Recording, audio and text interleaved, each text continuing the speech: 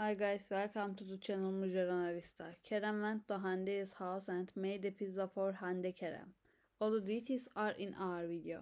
Don't forget to subscribe to our channel and share our video before moving on to our video. Thank you very much. Hande is a very busy woman. She usually spends every time on set she that is why she is such a successful player. She is mentioned a lot in the TV series she plays. However, she loves to spend the rest of every time at home. She also really likes to cook at home. The house was feeding the soul of the beat factories. She found peace in his home. She is also a very talented woman. Her hand is very tasty and she cooks very well. That is why Kerem Bürsin loves to eat Hande's food. Hande Erçel said that she spends a lot of money on her kitchen. She also thinks that cooking is an art she she.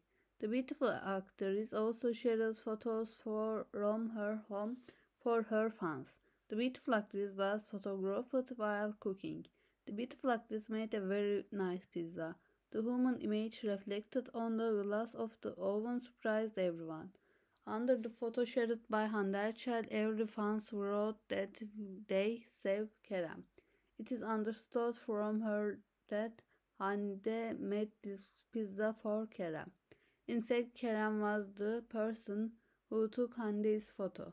Hande's poses were also appreciated by each followers. The beautiful actress loves to spend time at home. Sometimes she even has no energy at all. She felt very tired. That is why she is not taking on a new project right now. However, she also wanted to return to the man as soon as possible. It is clear from this that Kerem and Hande really got along. They already loved each other very much. The reason for the breakup were also absurd. That is why we were so happy that they reconciled. We hope they will never part again and be happy. Here we come to the end of our video. If you like our video, don't forget to subscribe to the channel and share the video. Bye.